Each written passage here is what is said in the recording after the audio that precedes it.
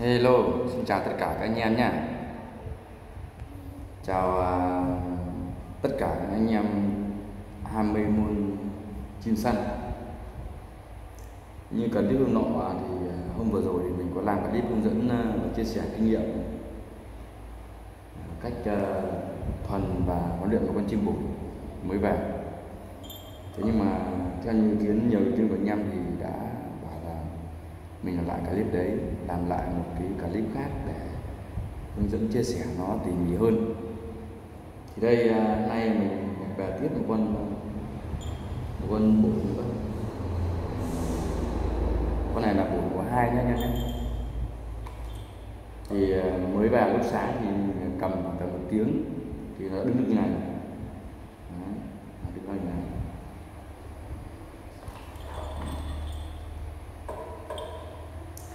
Thế để nói rõ hơn thì con chim mới về thì thường thường là nó rất chỉ là nhát. Và ăn là chưa là dám ăn cả. Đó. Mình sẽ phải cắt nhỏ ra. Cắt nhỏ thịt ra, mình đút cho nó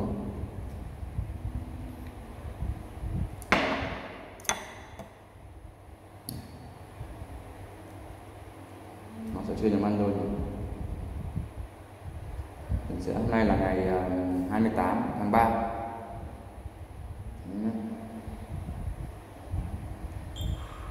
mình sẽ làm lại một cái clip uh, à, hướng dẫn anh em à, cách thuần hóa và và và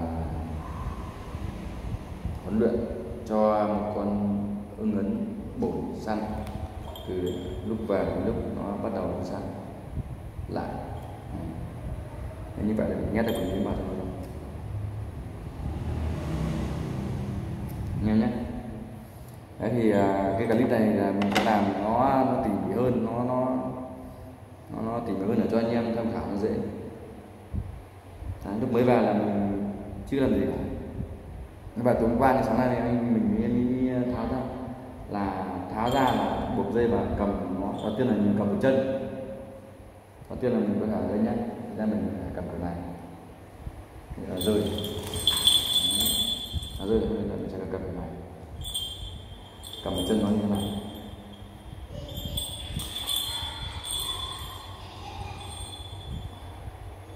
Đấy. mình cầm vào chân nó như thế này. Cầm khoảng tầm độ một lúc cầm nửa tiếng là mình có thể đả nó lên, đả tay nó lên như thế này đã cầm dây này dạ, nằm tay. Này lên. Này. Đấy, cầm tí nữa là con, nghiêng tay này. Nghiêng tay. Đấy. thế này là nó sẽ đứng lên. Và tất cả những cử chỉ hành động của mình là thật nhẹ nhàng. Thật nhẹ nhàng nó là cho mình nó nó nó có thể là nó nó nó bay. Đây con mồi đã chuẩn bị sẵn là con uh, vịt. Con vịt uh, con để cho ăn được nó thì ờ, tất nhiên là những anh em mới chơi thì ờ, chưa có thể làm được như mình thì có thể là cầm vào chân luôn, cầm vào chân và cánh luôn và cầm kéo, cắt nhỏ thịt trước ra. Mình đưa cho nó. Nhẹ nhàng. Đấy, là đây một tí là người sẽ nuốt nuốt sâu vào. rồi anh em nhé đã thuần được một con chim nó từ lúc buổi mới vào đến lúc nó đi săn thì nó không phải đơn giản anh em. Thế nhưng mà anh em mình vì đam mê, vì sở thích ra là làm được hết anh em một con chim này thì đến đây người đang mua sinh sản. Thế nhưng mà đúng ra là mình không nên làm làm clip bằng con chim bổ của hai này. Thế nhưng mà như này, cái con chim này là do thằng cuối ăn trên rừng nó bắt được. Nó bảo anh có lấy không? Không lấy đem thịt. Thế thì thà mình mang bán bừa hơn là đặt cái thịt đã nhanh này thế thực ra là ngoài ngoài sản là anh em cũng lên à, bẫy chim mùa hôm nay là ngày 28 Đấy, nó đã bắt đầu ăn rồi nhau năm là ngày 28 tháng 3 năm 2020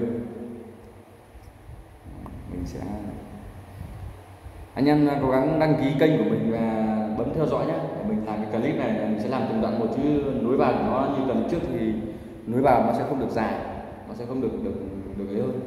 Thế mình sẽ làm từng clip một để cho anh em xem.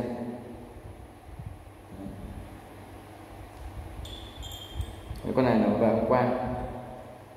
Thế trước khi về nhé mình không lên à, mình mình à, theo kinh nghiệm nuôi của mình là trước khi mình về là mình sẽ cho bạn sẽ mua cái cái cái ờ, thuốc một là Berlin là đâu 15 là 16 ờ, nghìn một lọ. Nó bằng tay cái này.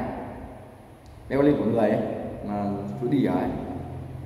Đấy, hai là mình mua một metronidazole cái vị màu đỏ này là mình về mình cho nó uống. Con này như này thì viên Berlin thì mình cho uống hai viên một ngày. Còn metro thì mình cho uống nửa viên một ngày cũng ba ngày liền nhé ba ngày liền để cho nó kích thích. Thứ nhất là nó cái metronidazole thì nó trị nấm mốc đường mồm miệng rồi ruột giết thì nó củng cố tiêu hóa. Hai là cái cái Berlin là nó, nó củng cố à, nó nó nó chữa trị và và và, và đi ở thì bảo vệ con chim mới vào thức ăn thức uống nó lạ. Nó chưa thi nghe được thì nó sẽ có Berlin nó, nó, nó chữa luôn. Chứ không là con chim nó sẽ bị à, đi ở đấy mình sẽ nhẹ nhàng. Mà nhất là lúc mới vào là mình, mình cầm nó mình cho ăn chỉ một mình thôi nha. Không có ai cả. Nếu có người làm nó sẽ mất tập trung mà nó không ăn đâu. Nhiều anh em mới mua chim về loay hoay không biết làm kiểu gì cho ăn mà người bán chim thì cũng chỉ biết là, là bán xong rồi họ là thôi. Cái clip này là mình làm để, để chia sẻ với những anh em mới chơi thôi. Thực ra thì mình cũng học hỏi kinh nghiệm của anh em đi trước. Đấy. bắt đầu mình đào lên sát con này mai là mình sẽ ăn nó tự mổ ăn thôi nhá, con này chỉ một ngày thôi mà nó sẽ tự mổ ăn. Bình thường thì ờ, uh, chim săn thì một ngày mình cho nó cũng rất nhưng mà. Cái hàng mới vào hàng mới vào là mình ngày phải hai bữa Đấy, ngày phải hai bữa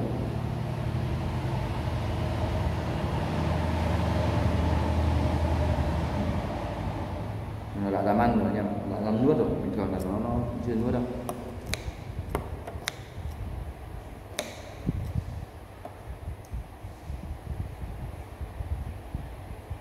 Nếu như nào mà biết cách chăm sóc rồi thì có thể bỏ qua nhé. Xin đừng nói lời cay nghiệt. Có thể bỏ qua mình bởi vì đây là mình làm clip này để chia sẻ với những anh em mới chơi. Anh em nhớ nha, anh em nghe kỹ là anh em mới chơi nhá chứ những anh em đã chơi rồi xong thì vào lại nói này nọ bảo là thế nọ thế kia là, là không nên. Còn những anh em mới chơi thì biết chơi lâu rồi mà không chia sẻ kinh nghiệm. Thì làm sao mà cái môn văn quali để anh em mình là ngày một phát triển tốt hơn được?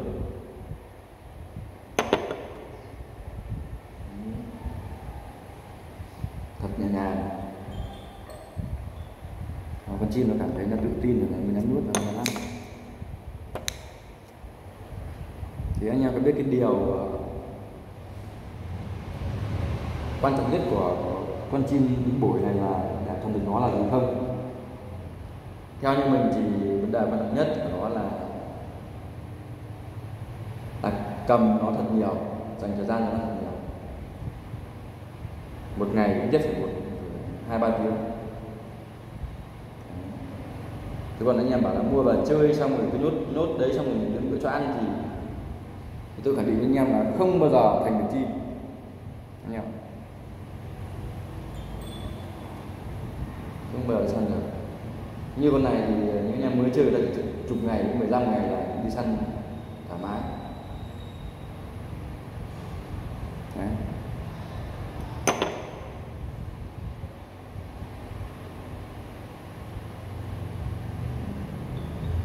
cầm dây thì em cầm ở vào đây. Cái này. Ba ngày đầu tốt nhất là không cho gặp người khác làm cái gì. Cứ cầm một mình đã. Làm cơm một mình. Thế đến ngày thứ tư thứ năm thì bắt đầu mon men ra ngoài xa xa.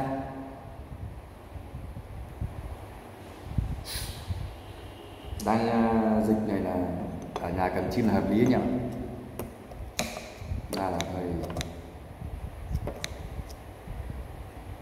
làm clip về mong anh em à, anh em mình cùng, cùng chơi môn này nó, nó phát triển. Thực ra mình chẳng biết bán gì đâu nha không buôn bán gì. Gọi là chơi theo đam mê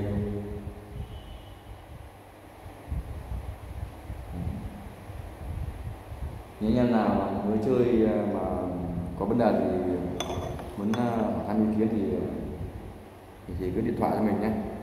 Facebook của mình là Nguyễn Trí Trung và điện thoại số điện thoại là 0977 047 993